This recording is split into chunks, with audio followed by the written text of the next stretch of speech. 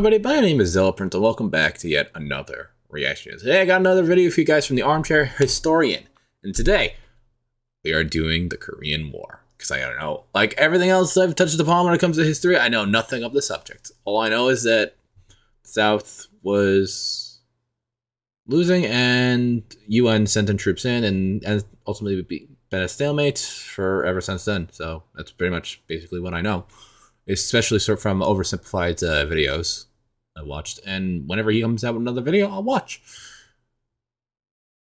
And with that being said, we're gonna go ahead and get into today into this video. Three, two, one. I was gonna say a joke about oversimplified, but it would have been useless in this scenario. One, at three, two, one, go. The soldiers steady themselves against the sides of a Higgins boat as another breaker pummels the landing craft. In the back, one poor man can't keep his chow down, and in the front, someone runs prayer beads through his fingers. Another salvo from the battleships. Surely nothing could have survived the bombardment. The boat's helmsman calls out, Time to go ashore. The landing ramp collides with a concrete seawall, fragments of a ladder falling imply into the passenger bay. The Americans scramble out of the boat, scaling the concrete as their enemy opens fire. But it is not the chatter of an MG 42 that greets these United States Marines, nope. but the slow chug of a Soviet machine gun. This is Incheon, South Korea, and like the Normandy landings barely six years before, this amphibious invasion will turn the tide of a war. Hi. For those of you that don't know, MG-42 was a German machine gun that was used on Omaha Beach the day, day of uh, D-Day landing. A little bit of history from me. Hello, I'm dude. Griffin Johnson, the armchair historian. The seeds that would grow into the Korean War were sown in 1945 when the Soviet Red Army invaded the peninsula following its declaration of war on Imperial Japan, which had held Korea since 1910. Soviet forces advanced down the peninsula until. I gotta take a deep look into his channel if he has a war video from of the Russian Empire versus Japan during the early 1914, 1915, not 1914, 15, 1904, 1905 uh, war. I was about to. I don't know. I. I was about to say something else, but I don't think it was going to be the proper word for this uh, war. But I'll, I'll, see. I'll take. I'll take another. I'll take a look at his channel, and I'll see if he has a video just like that, and not one that has to do with the Soviets declaring war on Japan after Japan already surrendered from World War II which I think I saw a thumbnail of, but I didn't read the title completely when I was looking through other videos on his channel. So I'll be looking into that more in the future. And I've talked enough, so let's get back to the video. Well, they reached the 38th parallel, then halted while the US troops landed in the south and moved to meet them, splitting the peninsula in two. The Soviets established a communist provisional government in the north, elevating Kim Il sung, a hero of the insurgency against Japan, to the head of government. Consolidating power, Sung declared the formation of the Democratic People's Republic of Korea. Espousing democratic socialism, but practicing brutal authoritarianism. With North Korea lost to communism, the Americans decided to push back by establishing the First Republic of Korea. But this state was hardly a bastion of liberty and democracy. If you're a regular viewer, you no doubt enjoy quality historical content created with love, care, and attention to detail. That's why I'm happy to announce that this video is sponsored by History Courses, a brand new website that provides in-depth courses on many different areas in history. Enjoy hours of carefully curated historical Five hours? content and engage with the course's creator Eesh. via the Q&A feature. Full members can also choose between streamed lectures or downloads complete with comprehensively cited and annotated transcripts in downloadable PDF format.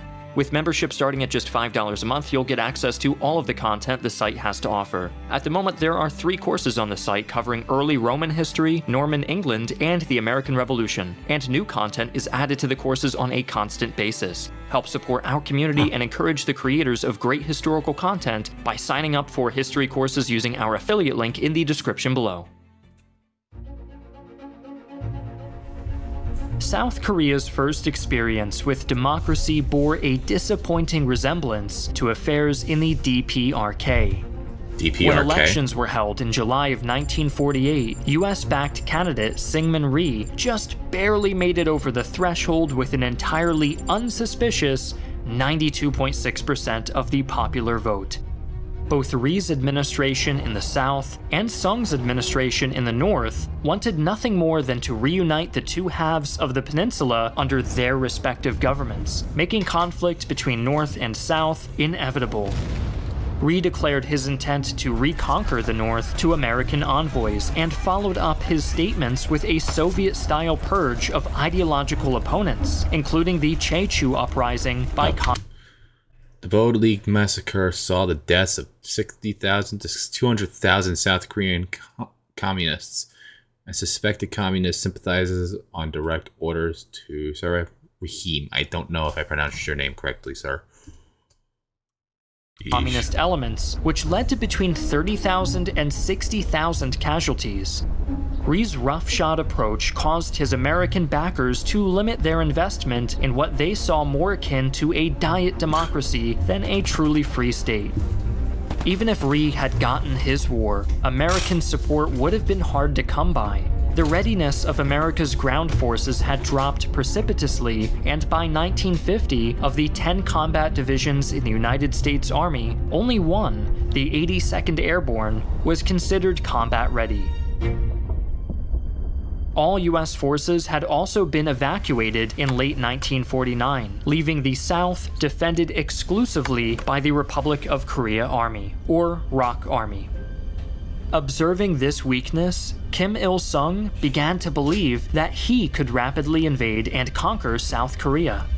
Eventually, Sung launched his invasion, but claimed to his dying day that it was a righteous response to a surprise attack from the south, which was conveniently defeated so decisively by the Korean People's Army that no evidence of the invaders was left.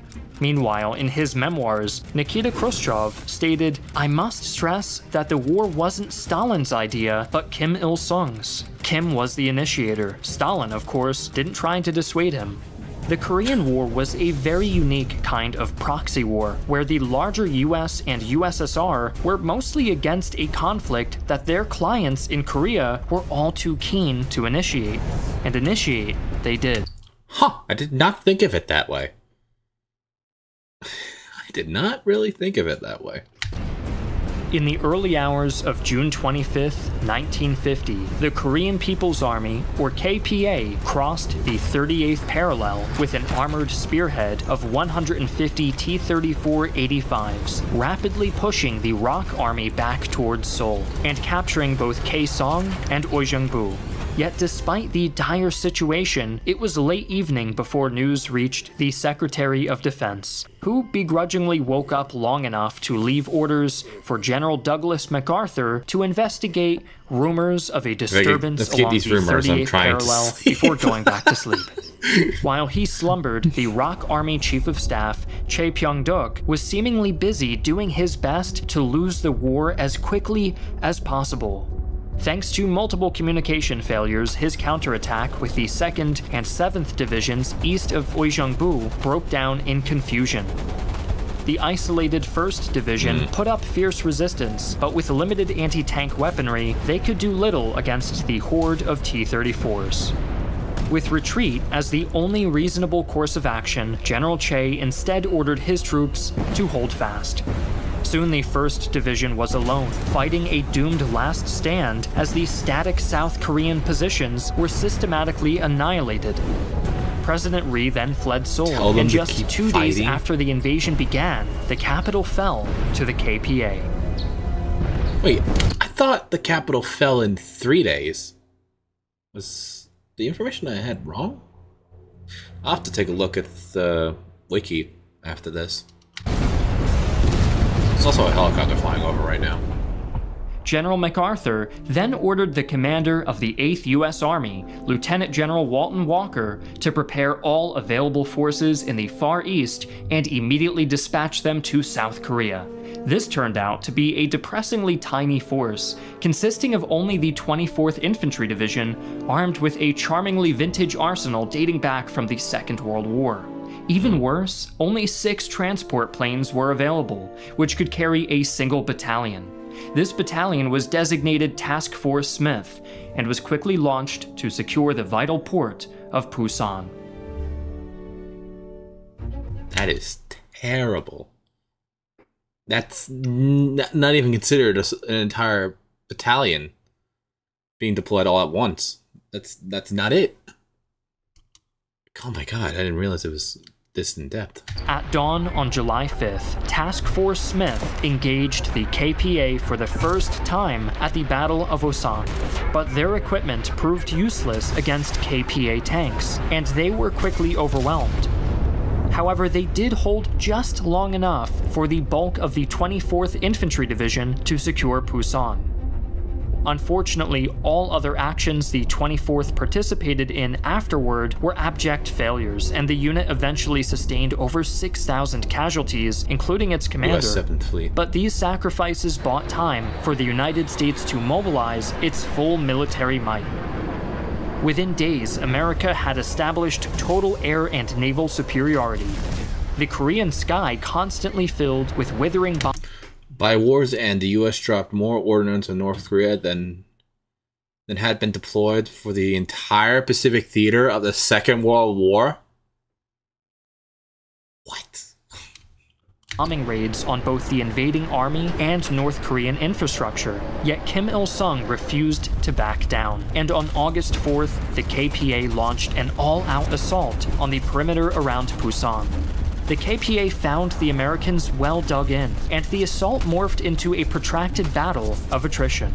But the perimeter came close to collapse on August 15th, when a push across the Naktong River by the KPA's elite troops managed to carve a salient known as the Naktong Bulge. Only the timely arrival of reinforcements averted disaster, all while American air and naval assets kept the North Koreans from consolidating their gains as they proceeded to devastate KPA supply lines. While the battle for Pusan raged on, General MacArthur was busy coordinating an amphibious landing at Incheon, 100 miles or 160 kilometers behind enemy lines. When told that Incheon was heavily defended and that adverse sea conditions made any landing a daunting prospect anyway, MacArthur responded thusly the very arguments you have made as to the impracticabilities involved will tend to ensure, for me, the element of surprise. For the North Korean commander will reason that no one would be so brash as to make such an attempt. Being wow. so brash, MacArthur got the plan approved in late oh. August, oh. and Incheon's heavily defended beaches were easily cleared by a massive naval bombardment, allowing the Marine Task Force to land without incident and drive North Korea north, drive the north to liberate Seoul. To everyone's surprise, the landing at Incheon proved a massive success. This forced the, the, KPA to pull forces away from Pusan, allowing the defenders to stage a breakout on the 25th. This was the last straw for the North Koreans, and their morale finally shattered, with hundreds of soldiers surrendering en masse as the Americans drove north, and attracted the attention of Chinese border troops at the Yalu River. With Incheon secured, UN forces began their drive to liberate Seoul. The road to Seoul was a grueling campaign which saw intense combat around airfields and strongpoints. Flamethrowers and massive bombardments played a key role in dislodging stubborn KPA troops. The fighting oh, only really random question, and, notice is really random and out of nowhere, but he, Armstrong just mentioned it.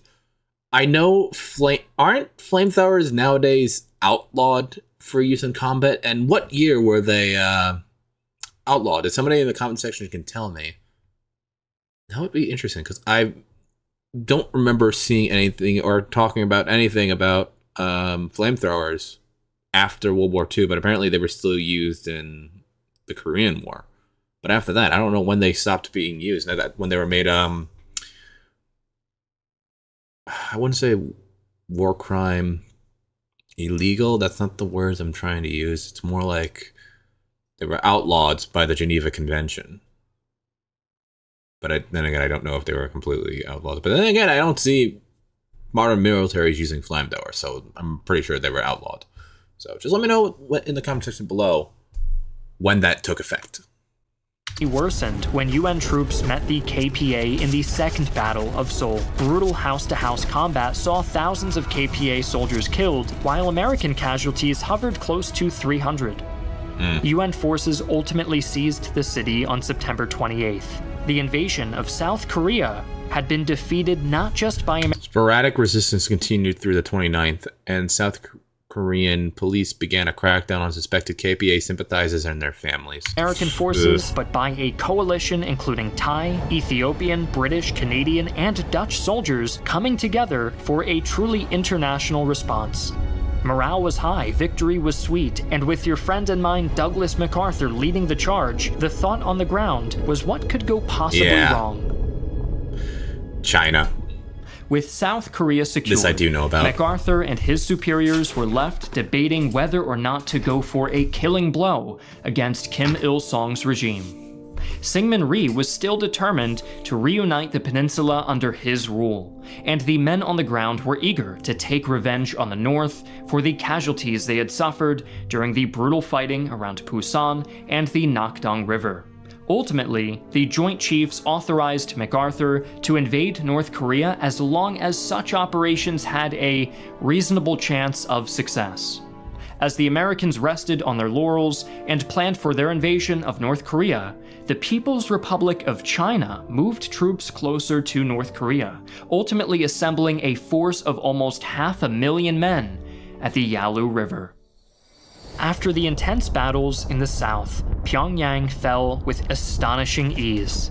The dispirited KPA offered virtually no resistance, and the capital was taken on October 19th.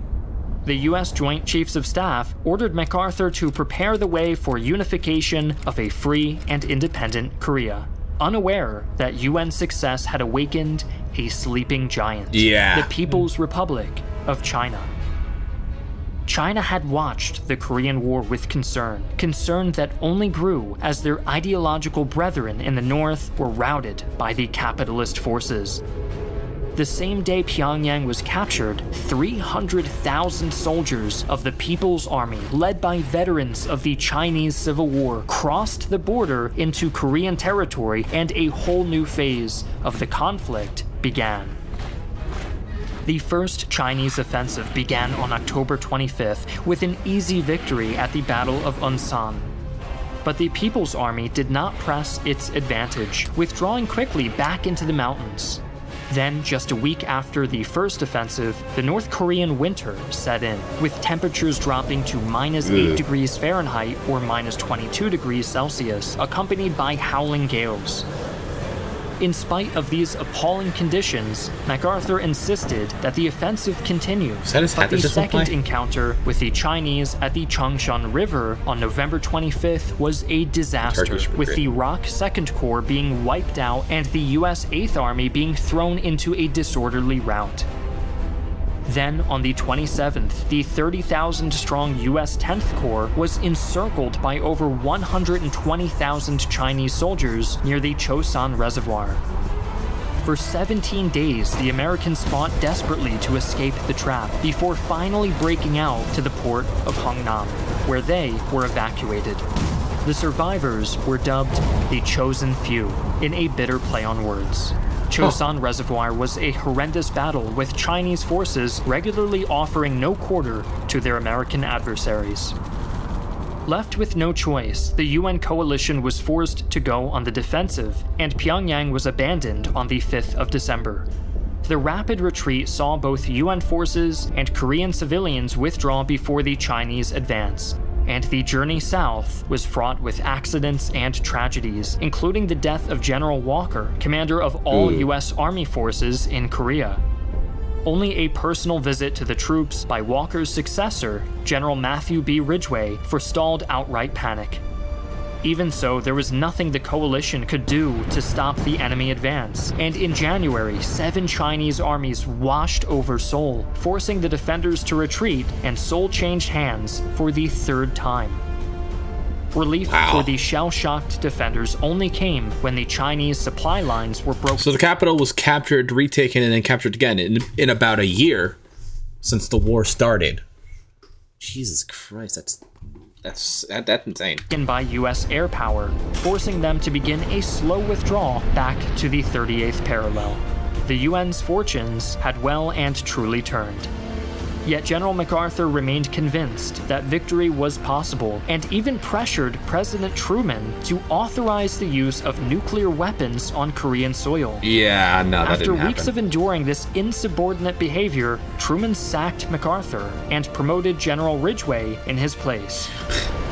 that is another thing I did know. I know I knew he got sacked because he wanted the used to authorize wanted Truman to use nuclear bombs on the both the Chinese and the North Koreans. But after Hiroshima and Nagasaki, nobody wanted to use them again.